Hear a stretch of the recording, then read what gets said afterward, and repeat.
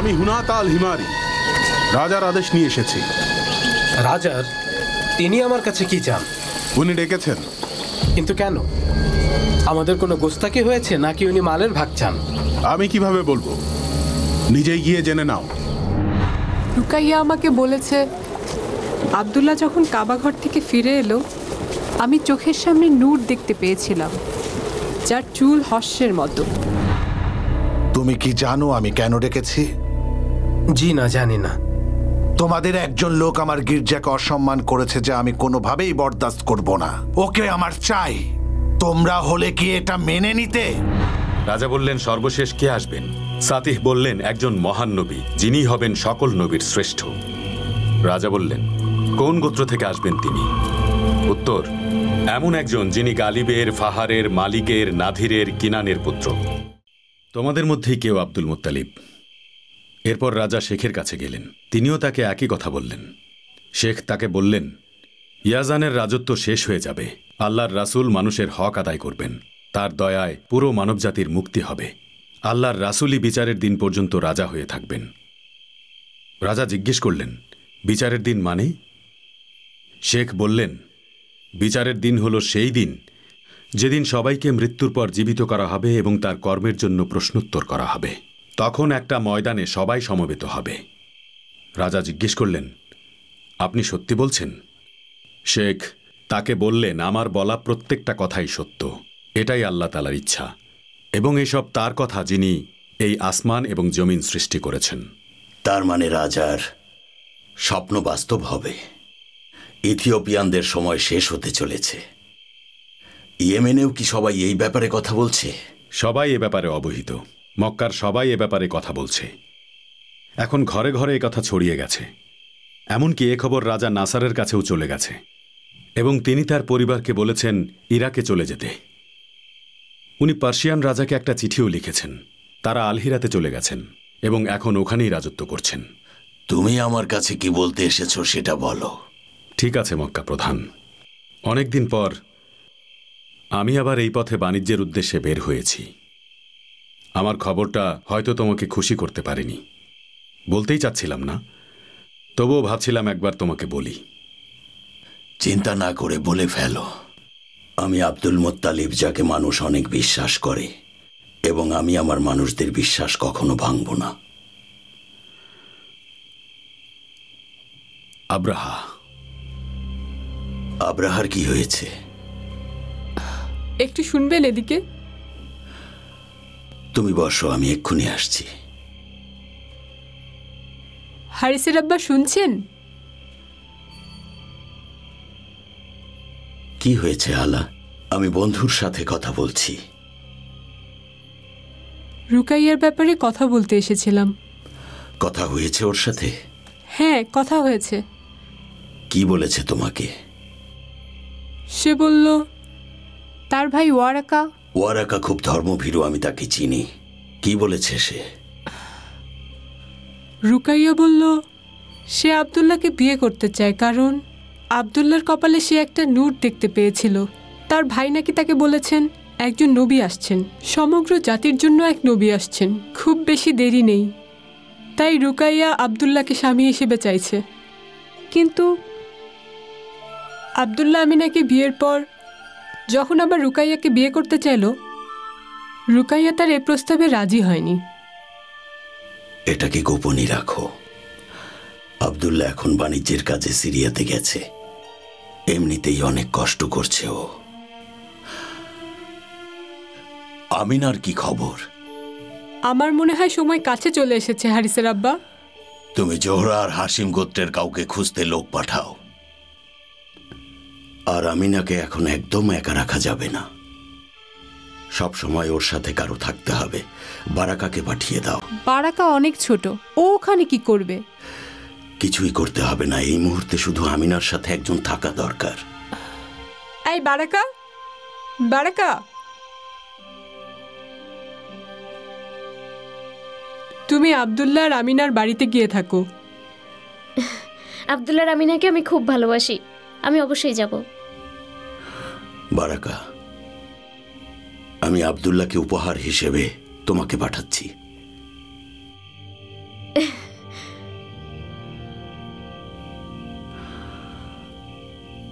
আমি মেহমানের কাছে যাচ্ছি।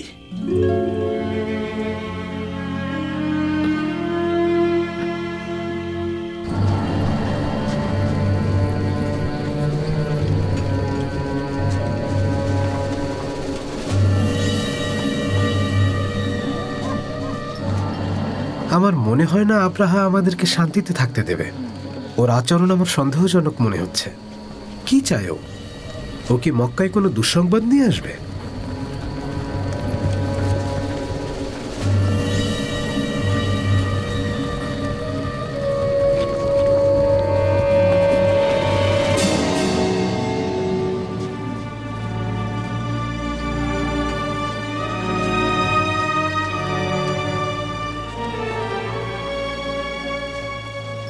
বন্ধু আব্দুল মোত্তালিব আমি তোমাকে ভয় দেখাতে চাইনি কিন্তু আমি তোমাকে এবং এখানকার মানুষকে নিয়ে ভাবি। আমি বাণিজ্য করি এখানে আর তুমি তো জানোই খাতেমের লোকেরা কাবাকে মানে না। খুলে বলো বন্ধু আমি জানি তুমি কিছু বলতে চাইছো। না আব্দুল মোত্তালিব নিজের জন্য বলছি না। কিন্তু আমার মনে হয় আব্রাহা কোনো পরিকল্পনা করছে। কি পরিকল্পনা? আমি তো তোমাকে সব খুলেই বললাম। আশা করি তুমি আমার কথা বুঝতে পেরেছ। আমাদের সাথে কি শত্রুতা? আব্দুল মুত্তালিব সে সানাতে একটা বিশাল গির্জা বানিয়েছে এবং সে চাইছে সব মানুষ বিশেষ করে আরবীয়রা তীর্থের জন্য সেখানে যাক। যাতে করে ওই সানা আরবের কেন্দ্রবিন্দু হোক। আর তুমি তো জানো যে এটা করে তার কি লাভ হবে। কিন্তু আরবের মানুষেরা যদি সানাতে তীর্থের জন্য যায় তাহলে আমরা কি তাদেরকে জোর করে থামাতে পারব? এটা একান্তই তাদের সিদ্ধান্ত। আমি কি করব? আমি নিজেকে প্রশ্ন করেছি কেন সেটা করেছে? কেন? তোমার প্রশ্নের কি উত্তর পেলে? কাবা ধ্বংস করে দেবে। কি বললে? আমি তার সাথে যুদ্ধ করব। আরবীয়রা যারা যারা চায় আমার সাথে যোগ দিতে পারে।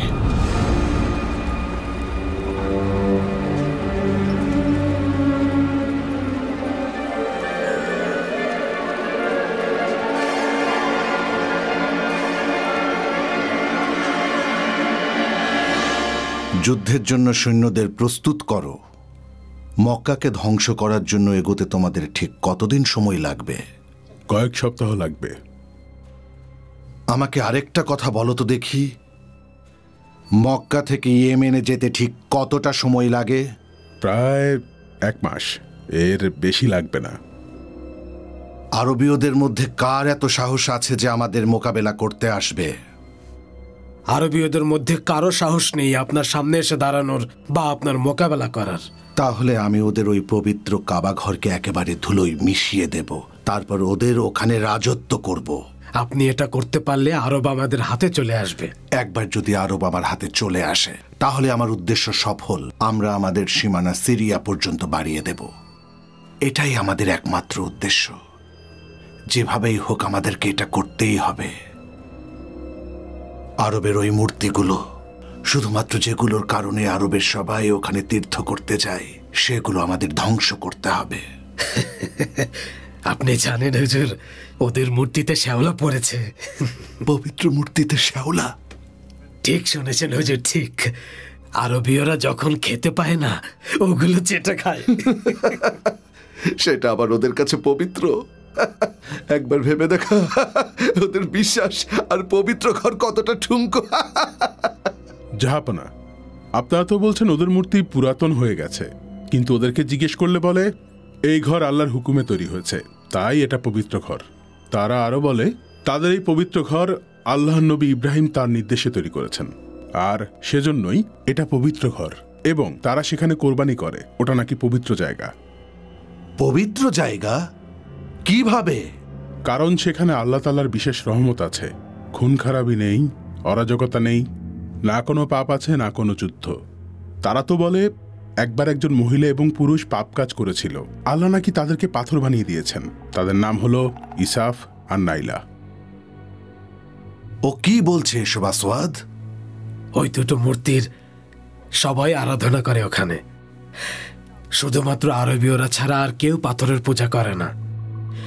রোমান সাম্রাজ্যের সবাই তো খ্রিস্টান ধর্মের।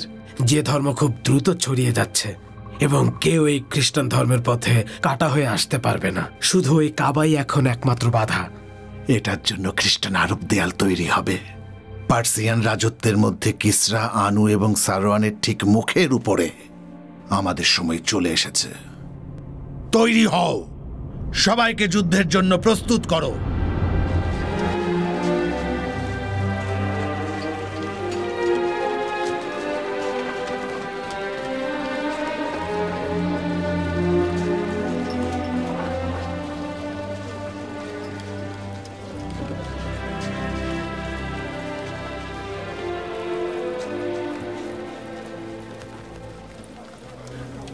হালা হারিসের আব্বা। কি হয়েছে? মন খারাপ নাকি তোমার? হামজার কিছু হয়েছে? হামজা একদম ঠিক আছে। ওকে এখন থুয়াইবার কাছে রেখে এসেছি। আমার সেটার জন্য মন খারাপ না। তাহলে কি হয়েছে আলা? আমি না আমিনার কি হয়েছে? ওর সাথে দেখা করতে গিয়ে দেখি খুব কান্নাকাটি করছিল। জিজ্ঞেস করায় বলল আবদুল্লার কথা খুব মনে পড়ছে। আমি দেখা করে আসব ওর সাথে।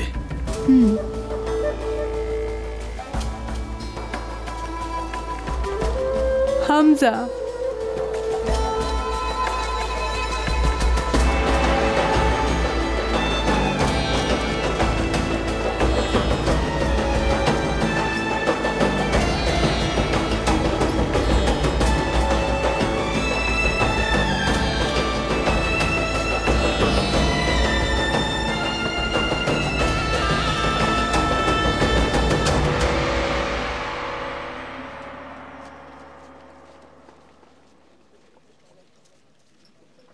চলে এসেছেন আপনি?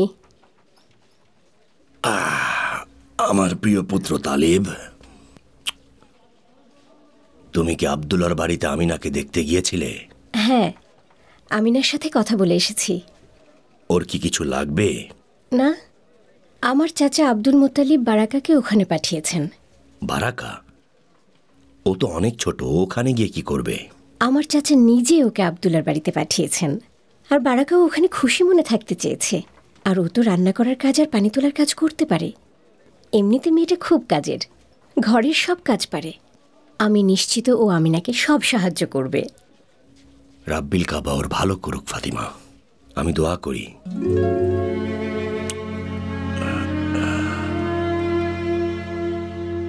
আমি তোমার সাথে একমত না ইবনে জাদান। তবুও বলো তুমি কি বলতে চাও? শোনো আবু তালিব। শোনো কুরাইশের লোকেরা। এই যে পবিত্র ঘর, যেহেতু আমরা এতদিন ধরে পবিত্র ঘরকে রক্ষা করে আসছি, তাই সামনেও রক্ষা করার দায়িত্ব আমাদের। আমাদের নিজেদেরকে নিয়ে ভাবতে হবে। আমাদের আত্মীয় স্বজনের কথা ভাবতে হবে। কারও যদি কোনো সাহায্যের দরকার হয়, আমাদেরকে সাহায্য করতে হবে। যদি আমাকে জিজ্ঞেস করো, কেউ চুরি করলে হাত কেটে নেওয়া উচিত এবং আরব থেকে কিনানা পর্যন্ত সব ধরনের হারাম কাজ বন্ধ করে দিতে হবে। এবং আমি এটাও চাই না নারীরা বেপর্দা হয়ে ঘুরে বেড়াক। বলুন আব্দুল মুত্তালিব। হে মক্কা প্রধান এজন্যই তো আপনাকে সবাই এত পছন্দ করে। আমি হাশেমের পুত্র আব্দুল মুত্তালিব বলছি কুরাইশ বংশের কোনো কন্যা সন্তানকে আর জীবিত অবস্থায় কখনো মাটি চাপা দেয়া যাবে না। আল্লাহ বলেছেন পুত্র সন্তানের চেয়ে কন্যা সন্তানদেরকে আমাদের বেশি ভালোবাসতে হবে। পুত্র অপেক্ষা কন্যা, আমাদের কাছে বেশি ভালোবাসার। আর কোনো কন্যা সন্তানকে জীবিত কবর দেয়া হবে না। কন্যারা বড় হয়ে আমাদের ঘর সংসার সামলান। তারা সন্তান প্রসব করেন, ঘরবাড়ি সামলান, আহার তৈরি করেন, কীভাবে তাদের জীবিত পুঁতে ফেলবে? আর যখন যখন তোমরা বৃদ্ধ হয়ে যাবে, তখন একমাত্র কন্যা ছাড়া তোমাদের আর কেউ দেখবে না।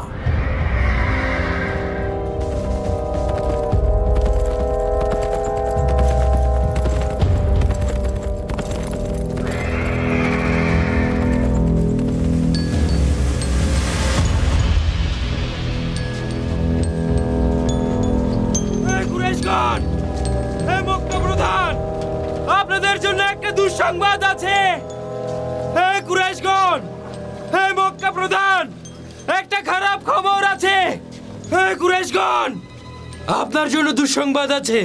আপনার ভাই আবদুল্লাহ নেই।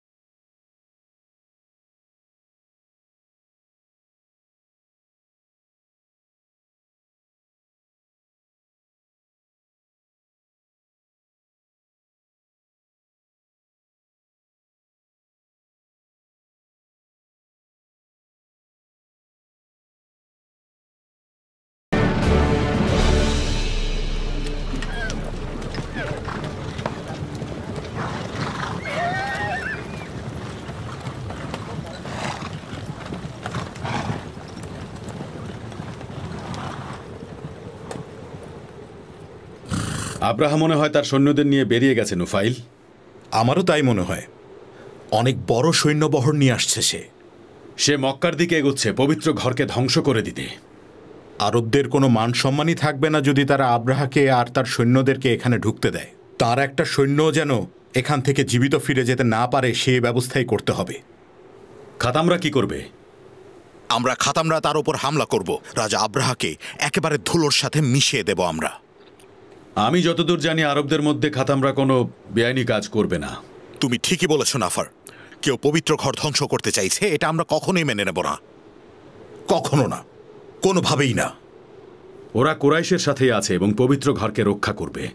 মনে হয় না আব্রাহা এখানে এসে বেশি কিছু করতে পারবে।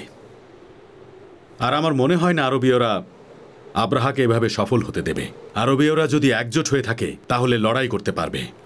তুমি যা বলছো তা কি তুমি নিশ্চিত হয়ে বলছো? পুরোপুরি নিশ্চিত না কিন্তু আমার মন এটাই বলছে। পবিত্র ঘরের জন্য ওরা জীবন দিয়ে দেবে। আরবীয়দের মধ্যে কেউ কি আব্রাহার সাথে হাত মেলাতে পারে? সে ধ্বংস হয়ে যাবে। তাকে আরবীয়রা ছাড়বে না। নাজরানের আল হারিস বংশে এমন কিছু লোক আছে তারা বেইমানি করলেও করতে পারে। নিজেদের স্বার্থের জন্য এটা করতে পারে। কিন্তু তুমি তো মক্কা প্রধানকে ভালো করেই চেনো। যে মুহূর্তে আব্রাহার সৈন্যরা মক্কায় ঢুকবে তখনই মক্কা প্রধানের কাছে খবর চলে যাবে।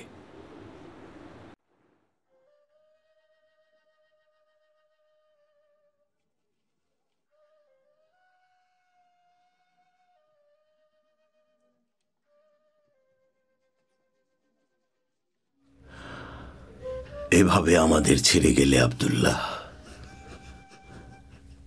আমার মন মানতে চাইছে না।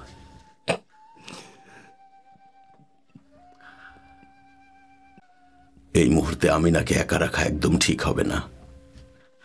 নিশ্চয়ই ও ভেঙে পড়েছে। ওর কষ্ট আমরা অনুমানও করতে পারছি না। ওর অনাগত সন্তানের জন্য এটা দুঃসংবাদ। ওর দিকে খেয়াল রাখতে হবে। ওকে একদম একা ছাড়া যাবে না। আমি আগে থেকেই সে ব্যবস্থা করে রেখেছি। ওর অবস্থাটা আমি বুঝতে পারছি। লাকাসালাম মক্কা প্রধান। লাকাসালাম এসো বসো আসাদ বসো। আমি এখানে বসতে আসিনি আব্দুল মুত্তালিব। একটা খারাপ খবর আছে। কীভাবে বলব বুঝতে পারছি না। আমার ছেলে আবদুল্লাহর মৃত্যুর চেয়েও ভয়ঙ্কর কোনো খবর সেটা? বলুন না চাচা কি খবর? ইথিওপিয়ানরা আব্দুল মুত্তালিব। কি করেছে? জলদি বলো। ওরা এদিকে এগিয়ে আসছে। আব্রাহা তার বিশাল সৈন্যবহর নিয়ে আসছে।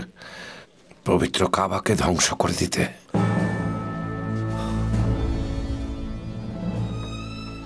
হিমিয়ার থেকে একটা খবর এসেছে।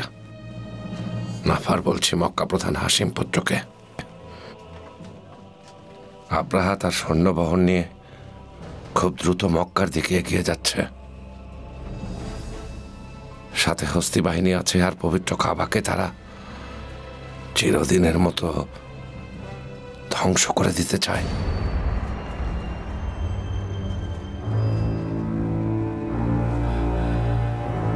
হে আল্লাহ তোমার পবিত্র ঘরকে রক্ষা করো।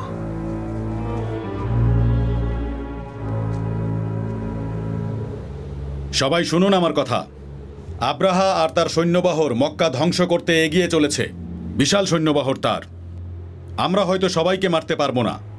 কিন্তু কেউ যেন বলতে না পারে যে আব্রাহা আর তার সৈন্য ইয়েমেনের উপর দিয়ে মক্কায় পবিত্র ঘর ধ্বংস করতে গেছে।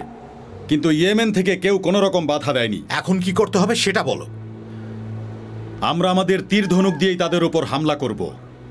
তারপর মরুভূমির দিকে যাব। প্রথম আক্রমণের পর আমরা দ্বিতীয় আক্রমণের জন্য তৈরি হব। যখন সে খাতামের ভূমিতে আসবে আর সেদিক দিয়ে আব্দুল মুদানে আসবে সেখানেও আমরা একইভাবে আক্রমণ করব। তবুও যদি সে মক্কা পর্যন্ত পৌঁছে যায়, তাহলে অবশ্যই মক্কার লোকেরা সেখানে তাকে প্রতিরোধ করবে। আমরাও করব। আর আমরা যদি আব্রাহাকে মারতে পারি, তার সৈন্যবহর দুর্বল হয়ে যাবে, আর তারা অবশ্যই পালাবে।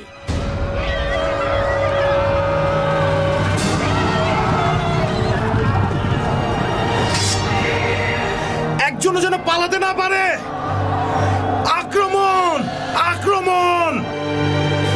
মাকসুদ এরা কারা বলো তো? আমার এত বড় সৈন্যবহরের সামনে এসে দাঁড়ানোর এত সাহস কার?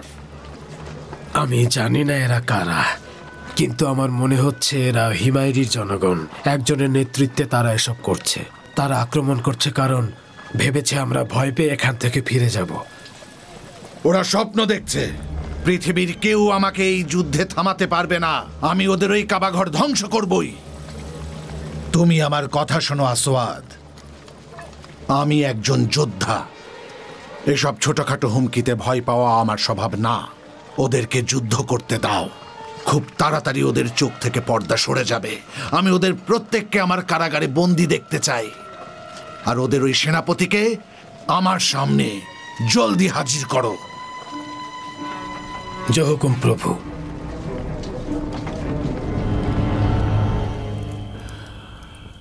আসুন কুরাইশের গণ্যমান্য ব্যক্তিরা।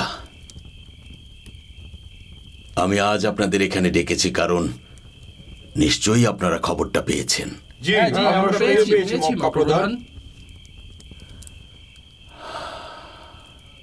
আব্রাহাম মক্কার দিকে এগিয়ে আসছে। ওকে কীভাবে প্রতিরোধ করতে পারি? ওদের তো অনেক সৈন্য আর আমাদের তো কিছুই নেই। আমরা কি তাদের মক্কায় ঢুকতে দেব নাকি? ওরা আমাদের ঘর বাড়ি ধ্বংস করবে। স্ত্রী সন্তানদের নিয়ে যাবে মেয়েদের উপর অত্যাচার করবে আমাদের পুরুষদের খুন করবে আমরা কি সেটা হতে দেব? আর আমাদের পবিত্র কাবা? জীবন দিয়ে হলেও পবিত্র কাবাকে রক্ষা করব। আমি উনার সাথে পুরোপুরি একমত। কাবার জন্য আমরা জীবন দিতেও প্রস্তুত।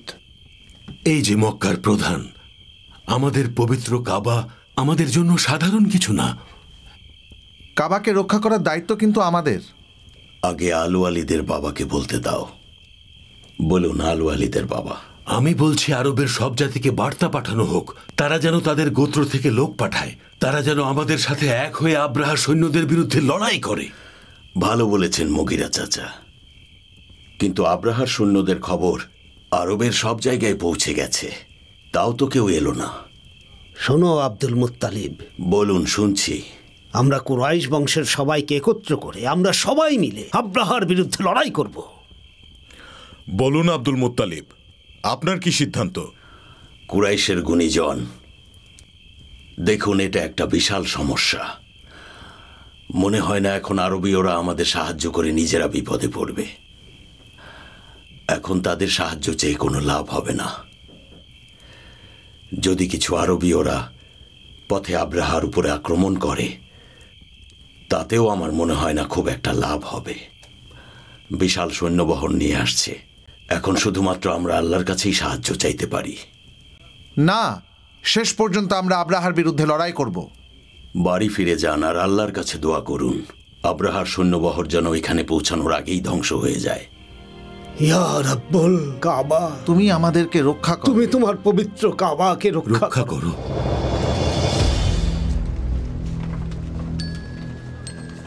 নাফারের লোক আল হিমাইরি যারা আব্রাহার বিরুদ্ধে যুদ্ধ করার সাহস পেয়েছে। কোন সাহসে তোমরা এটা করলে? আপনি নিজেও ভাবতে পারছেন না আপনি কত ভয়ঙ্কর কাজ করতে চলেছেন। ওই পবিত্র ঘর আরবীয়দের গর্ব। ওই কাবা ঘর আল্লাহ তালা নির্দেশে নির্মিত হয়েছে। তুমি কি বুঝতে পারছ আমি তোমার সাথে কি করতে পারি নাফারি সেটা আমি জানি না।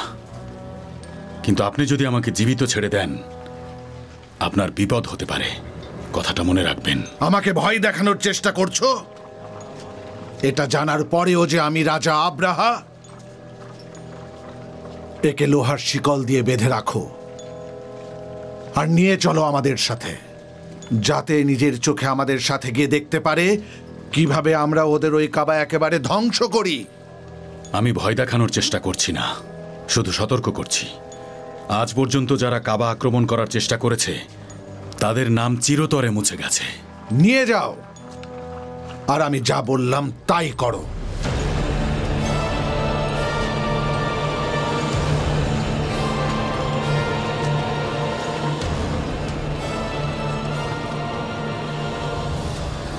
কোথায় যাচ্ছ?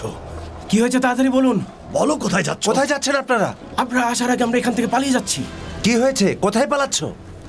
হে কাবার রব আমাদের এখন কি করা উচিত? কোথায় মক্কার প্রধান? মক্কার প্রধান কোথায় আপনি?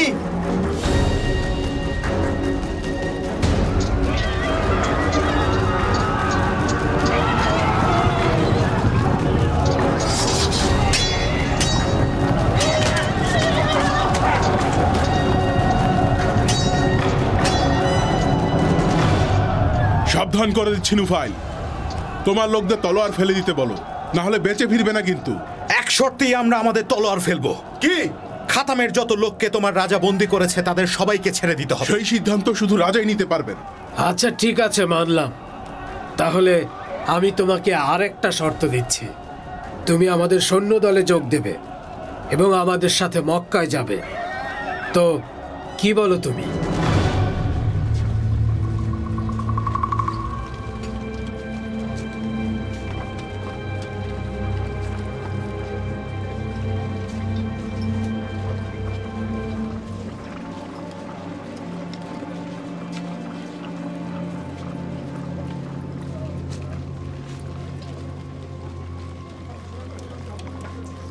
কুরাইশের জ্ঞানী গুণীজন, এ কেমন সংকট এসে পড়ল আমাদের উপর? আব্রাহার সৈন্যবহর তো একেবারে কাছে চলে এসেছে। কিন্তু তাদের মক্কায় আসার পথে আমাদের বন্ধু নাফার আক্রমণ করেছে। নোফাইল ইবনে হাবিব ও খাতাম গোত্রকে সাথে নিয়ে আক্রমণ করেছে। আর অন্যদিকে আব্দুল মোদানের লোকেরাও প্রতিরোধ করে তুলেছে। এখন যদি আমরা শুধুমাত্র কুজ্জাহ কিনানা আলা হাবিস থেকে লোকজনকে একত্র করতে পারি বিশেষ করে যারা তলোয়ার চালাতে পারে তাহলে ভালো হতো। আরবের বাকি গোত্রদের ক্ষেত্রে আপনার কি বলার আছে মক্কা প্রধান? আব্রাহার সৈন্যদের সামনে লড়াই করার মতো অবস্থা আরবের অন্য গোত্রদের নেই। তার মানে আমাদেরকে এই আব্রাহার বিশাল সৈন্যবাহিনীর সাথে লড়তে হবে? ঠিক বলেছেন আপনি। কি ভাবছ আব্দুল মুত্তালিব? বলো। মক্কার মানুষ তোমার বিরুদ্ধে যাবে না। ওয়ারাকা তুমি তো অনেক বিষয় জানো। তুমি কিছু বলো আমাদের। জি মক্কা প্রধান। কুরাইশ গোত্র যদি প্রস্তুত থাকে আব্রাহার বিরুদ্ধে লড়তে দিন। আমার মনে হয় না আব্রাহা আপনাকে কিছু করবে। তার একটাই মাত্র উদ্দেশ্য তা হলো পবিত্র কাবা ঘরকে ধ্বংস করা। সে ভাবছে যদি কোনোভাবে কাবা ঘরকে ধ্বংস করে ফেলা যায় তাহলে সব তীর্থযাত্রীরা গিয়ে তার গির্জায় তীর্থ করতে শুরু করবে। কেন সে পবিত্র কাবাকে ধ্বংস করতে চাইছে? ইয়েমেনের মানুষ নিশ্চয়ই তাকে সতর্ক করেছে। নিশ্চয়ই তাকে বলেছে কাবা আমাদের কাছে কতটা পবিত্র। এখানে কেউ কখনো আক্রমণ করতে পারে না। কেউ যদি সাহসও করে আল্লাহ তাকে ধ্বংস করে দেবে। আমার মনে হয় খবর তার কান পর্যন্ত পৌঁছে গেছে। কিন্তু তাকে আরেকজন বুদ্ধি দিচ্ছে। মাকসুদের পুত্র আল আসওয়াদ সেও নাজরান গোত্রের লোক।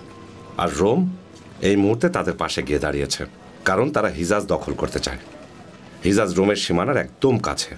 তারা তাদের সীমানা বাড়াতে চাইছে। আদান এবং আভিয়ান থেকে তিহামা হিজাজ এবং সিরিয়া পর্যন্ত। তাদের সামনে শুধুমাত্র একটাই বাধা সেটা হলো আমাদের পবিত্র কাবাঘর তুমি এত কিছু কীভাবে জানলে? কুরাইশের জ্ঞানী গুণীজন আপনারা জানেন আমি একজন বণিক। বিভিন্ন জায়গায় আমাকে বাণিজ্য করতে যেতে হয়। নানান দেশের মানুষের সাথে আমার কথা হয়। আব্রাহা, হিজাজের লোকদের উপর জোর খাটাচ্ছে। তাদেরকে খ্রিস্টান বানাতে চাইছে, তার মানে কাবাঘর তো ধ্বংস করবেই। ঠিক বলেছ ওয়ারাকা আব্রাহা বিশাল বড় পরিকল্পনা নিয়ে এসেছে। পার্সিয়ানদের মুখোমুখি হয়ে তার সাম্রাজ্য আদান সমুদ্র থেকে সিরিয়া পর্যন্ত বিস্তার করতে চায়। এর ফলে রোমানরা ভারত মহাসাগরে পৌঁছে আরবদের সাথে মৈত্রী চুক্তি করবে। এই কারণে সেই ভূমিতে একটা নিরাপদ বাণিজ্যের জন্য যোগাযোগ ব্যবস্থা গড়ে তুলতে পারবে। এই পরিকল্পনা সফল হবে না যদি আরবদের জোর করে খ্রিস্টান না বানানো যায়। আর আমাদের পবিত্র কাবা ধ্বংস না করা হয়। কাবা ঘর কি? কাবাকে কীভাবে ধ্বংস হতে দেব? যেভাবেই হোক আমাদের পবিত্র ঘরকে বাঁচাতেই হবে। আমাদের সবাইকে যে কোনো কিছুর জন্য প্রস্তুত থাকতে হবে। আশা করছি রাব্বুল আলামিন আমাদেরকে অবশ্যই একটা পথ দেখাবেন। আমি বলছি এই সিদ্ধান্ত আমরা তোমার উপরেই ছাড়ি। তুমিই মক্কার প্রধান তুমিই তো আমাদের নেতা। আরবের সবাই তোমাকে সম্মান করে এবং আমার বিশ্বাস আব্রাহও এই কথা জানে। আমার মনে হয় আব্রাহার সৈন্যবহর এই মক্কায় পৌঁছে যাবার আগেই তুমি নিশ্চয়ই একটা পথ খুঁজে পাবে। কুরাইশের জ্ঞানী গুণীজন আমার মনে হয় রাব্বুল আলামিন কিছুতেই আব্রাহাকে এই কাবাঘর ধ্বংস করতে দেবেন না। সবাই যান। আপনারা সবাই পবিত্র কাবাঘরে যান আর আল্লাহর কাছে দোয়া করুন। তিনিই সাহায্য করবেন। আমি দেখছি আব্রাহার সাথে যোগাযোগ করার কোনো ব্যবস্থা করা যায় ইয়া রাব্বুল কাবাকে তুমি রক্ষা করো। ইয়া রাব্বুল কাবাকে মক্কাকে রক্ষা করো। হে প্রভু হুবাল সাহায্য করো প্রভু হুবাল। একমাত্র আল্লাহ সাহায্য করতে পারে।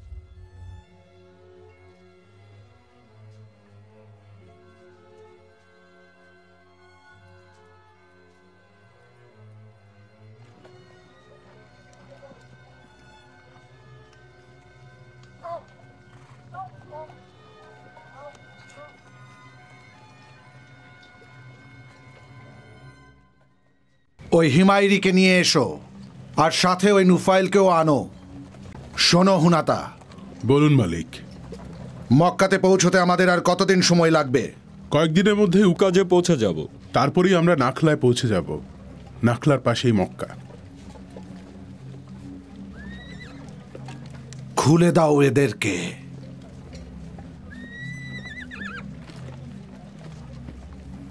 কেন ধরে এনেছেন? কি চান আপনি আমার কাছে? আমাকে বলো তো হিমায়রি ওই পবিত্র ঘরের অনুসারীদের নিয়ে কি যেন বলছিলে আমাকে তুমি? তাদের ব্যাপারে আমি জানতে চাই। তারা ব্যবসা বাণিজ্য করে, যুদ্ধ করে না। তাদের ওই ভূমি পবিত্র। তাদের ভূমিতে তলোয়ারের ঝঙ্কার নেই। ওখানে কোনো যুদ্ধ হয় না। সেখানে কোনো মারামারি হয় না। শুধুমাত্র নির্বোধরাই ওখানে যুদ্ধ করতে যায়। আর তাছাড়া অনেক দিন ধরেই আরবের উপর অনেকের নজর আছে। আর সমগ্র আরবের মধ্যে ওই জায়গাটি একটি বিশেষ জায়গা। ওখানে সবাই হজ করতে যায়। ওখানকার পুরুষেরা এবং নারীরা পাপ মুক্ত। কুরাইশ বংশের নারীকে কেউ কখনো বন্দি করতে পারে না। এক কথায় বললে পুরো আরবের মধ্যে ওরা সম্মানিত কারণ পবিত্র কাবার দায়িত্ব ওদের। এটা কি সত্য নাকি হিমায়রি?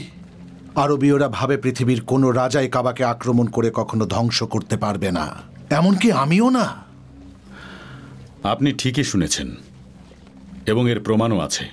লোহাই পুত্র আম্র, সে সিরিয়া থেকে মূর্তি এনে কাবার ভেতরে রেখেছিল। তার মধ্যে হুবাল নামে একটি মূর্তিও ছিল। সে কাবার ভেতর মূর্তিটা রাখল এবং ধ্যান করতে শুরু করল। অনেকে বলে ইব্রাহিমের ধর্মের সাথে এর কোনো সম্পর্ক নেই। এই কথা সবাই জানার পর জুরহুম নামে তার পুরো গোত্রকে মক্কা থেকে বের করে দেয়া হয়। আরবীয়দের আরেকটা কাহিনী আছে। আসাদ আবু কারিব নামে এক রাজা যে কাবাকে ধ্বংস করতে চেয়েছিল আল্লাহ নিজে তাকে থামিয়েছেন।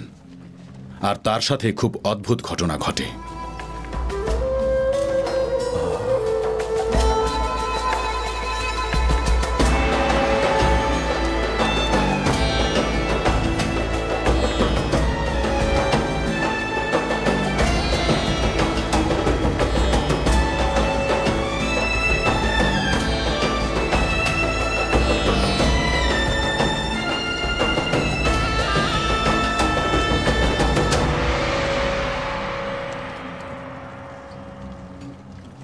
আচ্ছা আমাকে। রাজা আবু কারিবের গল্পটা বলো তো, হিমিয়ারি। শোনার জন্য অধীর আগ্রহে বসে আছি। আরবের লোকেরা বলে যে, রাজা আবু কারিব একজন মূর্তির পূজারী ছিল। একদিন আল হিজাজে আক্রমণ করার উদ্দেশ্যে বের হয়ে গেল। যখন সে হুজেল পার হলো, তারা তাকে বলল, দয়া করুন, মালিক। হুজেল গোত্রের লোকেরা খুব গরিব। কিন্তু তারা এমন একটা ঘরের সন্ধান দিতে পারেন, যেখানে হিরে জহরতের কমতি নেই। সে যেন সেখানে গিয়ে আক্রমণ করে। সেই পবিত্র ঘরটি ছিল মক্কায়। তার নাম কাবা। তারপর রাজা আবু কারিব মক্কায় পৌঁছালেন কাবায় আক্রমণ করতে। কিন্তু দুজন জ্ঞানী মানুষ তাকে থামালেন। তারা তাকে বললেন, রাজা আবু কারিব, আজ পর্যন্ত যারাই পবিত্র কাবার ঘরে আক্রমণ করতে চেয়েছে, সে তার সৈন্যসহ মরুভূমির উপর ভয়ঙ্কর এক মৃত্যু উপহার পেয়েছে। রাজা আল কারিব মহান আল্লাহ তালার নির্দেশে এই পবিত্র কাবাঘর নির্মাণ করা হয়েছে। আপনি যদি সেটাকে ধ্বংস করতে চান, তাহলে এর পরিণাম কিন্তু ভয়ঙ্কর হবে। তারপর আবু কারিব তাদের দুজনকে বললেন, তাহলে আমি পবিত্র কাবাঘরে পৌঁছানোর পরে কি করব বলুন আমাকে? জ্ঞানী লোক বললেন, সবার মতো আপনিও সেখানে সিজদা করুন, কাবার চারদিকে ঘুরুন এবং কাবার সম্মানে আপনার মাথার চুল কাবার উদ্দেশ্যে কামিয়ে ফেলুন। এবং যতক্ষণ কাবার মাটিতে থাকবেন সিজদা করুন। তখন রাজা বললেন, কেন আমি এসব করব সেটা বলুন আমাকে? তারা রাজাকে বললেন, আল্লাহ তালার নির্দেশে আমাদের পিতা ইব্রাহিম এই পবিত্র ঘর নির্মাণ করেছেন, তাই আপনাকে বলছি, কিছু মানুষ পবিত্র ঘরে মূর্তি ঢুকিয়েছিল এবং পবিত্র কাবা ঘরকে অপবিত্র করেছিল। রাজা আবু কারিব তাদের কথা শুনলেন এবং বিশ্বাসও করলেন। তিনি হুজাইল থেকে একজনকে নিয়ে এলেন। যে তাকে কাবা ঘরে আক্রমণ করতে বলেছিল। রাজা তাদের হাত পা কেটে ফেলেন। তারপর তিনি মক্কার দিকে এগুলেন এবং সেখানে গিয়ে তিনি মাথার চুল কামিয়ে ফেললেন। তিনি ছয় দিন পর্যন্ত পবিত্র কাবা ঘরে ছিলেন এবং বিশাল একটি চাদর দিয়ে কাবা ঘরকে ঢেকে দিলেন। তিনিই প্রথম মানুষ যিনি কাবা ঘরকে ঢেকেছিলেন। তারপর তিনি নির্দেশ দিলেন পবিত্র ঘরকে পরিষ্কার করতে এবং এখানে যেন কেউ মৃত প্রাণী না আনে। তার জাতিকে নির্দেশ দিলেন।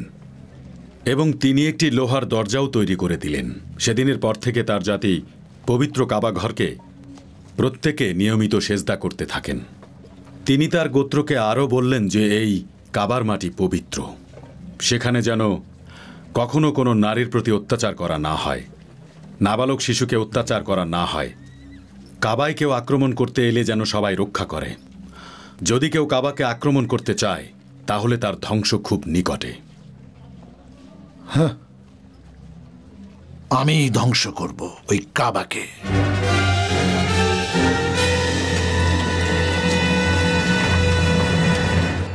আমি খুব তাড়াতাড়ি এর শেষ দেখতে পাচ্ছি। দেখতে পাচ্ছি।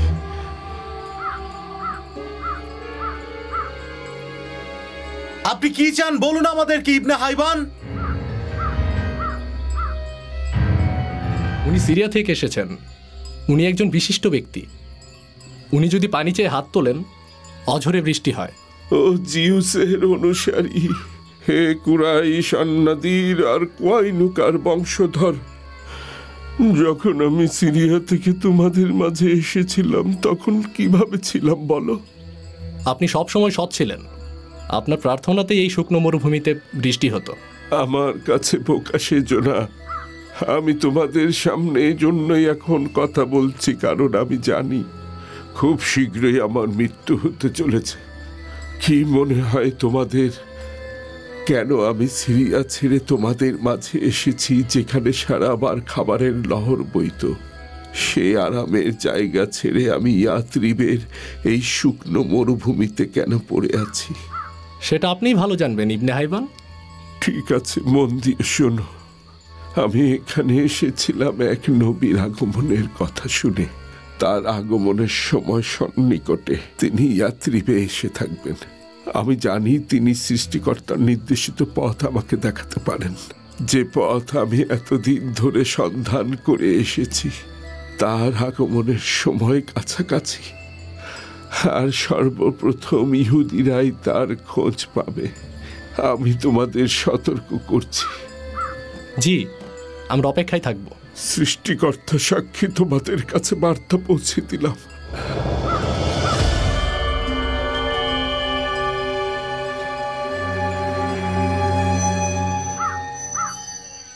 আমরা ইবনে হাইমানের শেষ কথাগুলো মনে রাখব।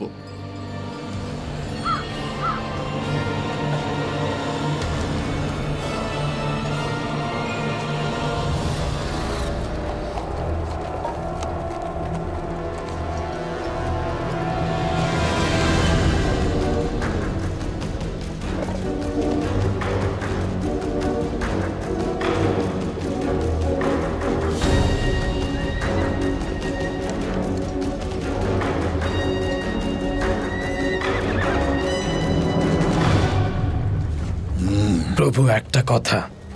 বলো আসওয়াদ।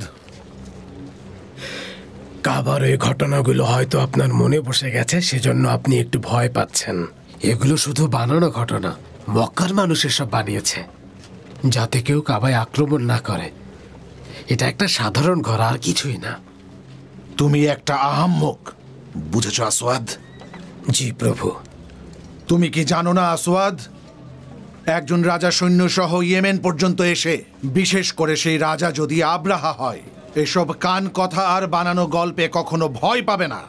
আমি এখানে এসেছি কাবাকে ধ্বংস করতে, এবং আরবীয়দের আমি জোর করব আমাদের গির্জায় যেতে, যাতে আমার ভূমি আরবের সবচেয়ে জাঁকজমক জায়গা হয়। একবার এই আরবীয়দের এই পবিত্র জায়গা আমি ধ্বংস করে দেই, তারপর এদেরকে বাধ্য করব, যাতে এরা সবাই খ্রিস্টান ধর্ম গ্রহণ করে। তারপর পার্সিয়ানদের পরাজিত করার জন্য একটি শক্তিশালী বাহিনী তৈরি করব। আমি আপনার কথা মন দিয়ে শুনছি, প্রভু। আমার সৈন্যদের প্রস্তুত করেছি শুধু সেই দিনের অপেক্ষায়। মক্কায় গিয়ে ওই কাবা ঘরকে আক্রমণ করব বলে ওদেরকে পরাজিত করব। ওদের যত সম্পদ আছে সব নিয়ে নেব। আপনার হুকুমের অপেক্ষায় আছে। আমাকে কেউ থামাতে পারবে না। আরবীয়দের খ্রিস্টান ধর্মে আনতে পারলে আমার চেয়ে বেশি খুশি আর গর্বিত মনে হয় আর কেউ হবে না। যখন আমরা ওই কাবা ঘরকে ধ্বংস করব, এক সময় মানুষ কাবাকে ভুলে যাবে। কেউ আর কাবার কথা বলবে না। তখন খ্রিস্টান ধর্ম গ্রহণ করা ছাড়া তাদের কোনো উপায় থাকবে না। তারা বাধ্য হবে আমার ওই গির্জায় যেতে। তোমাকে একটা কথা বলি আসোয়াদ শুধুমাত্র ধর্মই পারে একজন রাজা আর তার প্রজাকে এক সুতোই বেঁধে রাখতে। তাই তারা খ্রিস্টান ধর্ম গ্রহণ করলে এমনিতেই আমার অধীনে চলে আসবে। আরেকটা কথা বলি আসোয়াদ যখন আমরা ইহুদিদের ইয়েমেন থেকে বের করে দিতে পারব আর নাওয়াজের ইহুদিদের মেরে ফেলব, তখন আমরা ইয়েমেনদের প্রতিরোধ দুর্গ ধ্বংস করে দিতে পারব। আর একবার আমরা যদি ওই কাবা ঘর ধ্বংস করতে পারি, একবার শুধু ওই মক্কার মানুষদের হাতে নিতে পারি, তাহলে এই পুরো আরব আমাদের হাতের মুঠোয় চলে আসবে। তুমি নিশ্চিন্ত থাকো। আমি এত বড় সৈন্যবহর নিয়ে এসেছি, ভয় পেয়ে ফিরে যাওয়ার জন্য নয়। আমি জিতবই আসওয়াদ, এটাই আমার সিদ্ধান্ত। পৃথিবীর কেউ আমাকে আমার উদ্দেশ্য থেকে সরাতে পারবে না। অনেক বড় পরিকল্পনা করে এসেছি আমি খ্রিস্টান ধর্মের জন্য, আমার জাতি আর গোত্রের জন্য। আমি খ্রিস্টান ধর্মের জন্যই এত কিছু করেছি। আমার কাছে কাবার ধ্বংস থেকে অন্য আর কিছুই আনন্দের নয়। এবং আমি আব্রাহাকে পথ দেখিয়ে দিব, যেন তিনি মক্কার উঁচু উঁচু পাহাড়ের ভিড়ে হারিয়ে না যান। যদি আপনারা তার সাথে যুদ্ধ করতে চান তাহলে আমাদের শেষ অব্দি একসাথে চেষ্টা করে যেতে হবে। কাবা রক্ষার্থে আমাদের শেষ নিঃশ্বাস অব্দি লড়াই করে যেতে হবে। আমাদের ঈশ্বর তো ভিন্ন আর তার ঘর আলাদা। কুরাইশদের রয়েছে কাবা ঘর। আর আপনি কাবা ধ্বংস করতে এসেছেন। সেই কাবা ঘর এখানে নয়। কুরাইশদের সেই কাবা ঘর রয়েছে মক্কায়। তুমি এভাবে কাজ করলে পুরস্কৃত হবে। মহামান্য বাচ্চা আমি আপনাকে বলব দ্রুত করতে। সূর্য শক্তিশালী হয়ে যাবার পূর্বেই যা করার করতে হবে। যদি মক্কা সুরক্ষিত থাকে তাহলে তারাও সুরক্ষিত থাকবে।